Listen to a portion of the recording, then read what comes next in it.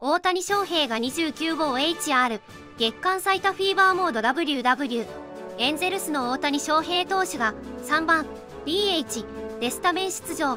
9回の第5打席で2戦ぶりとなる29号ホームランを放った。試合最終盤の一発は111.3マイル179.1キロ438フィート133.5メートルの豪快弾。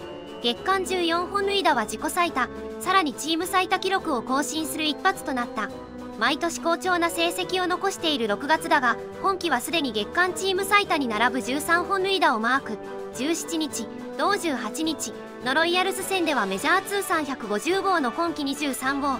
23日同24日のロッキーズ戦では日米通算200本塁打と偉業を達成した。勢いは止まらず。27日同28のホワイトソックス戦には2番投手で先発出場し投げては6回1 3を投げて被安打4の1失点10奪三振で7勝目。打っては27号28号と本塁打2本を含む3安打と大暴れした。1回宇宙間石中段まで運んだ27号ソロは飛距離127メートルの豪快弾。OHTANI ランドというお手製のプラカードを並んで持っていたファンのところに飛び込み着弾地点は狂気乱舞となった。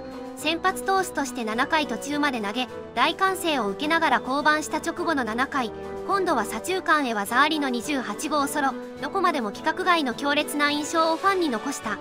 前日の28日同29日の同カードこそホームランはなかったものの2試合連続今季10度目の猛打賞で打率は309に上昇本塁打ランキング首位を独走中の大矢だが打点もリーグトップを争う2位さらに打率もリーグ4位となり三冠王も視野に捉えている。今後の躍進からもますます目が離せない。なんやこいつ。よく入ったな。えもん見たわ。気持ちよかった。ほんまにすごいよ。大谷ネタ抜きにほんまにすごいどんだけレンタルや。これ回してくれたトラウトのおかげだよね。打球速度やべえな月間14はたまげたな。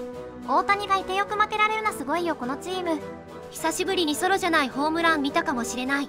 あの角度で上がって確信歩きできるってどんな手応えなんだろう。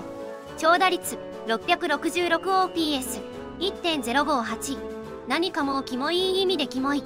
ホームラン王取ってくれ。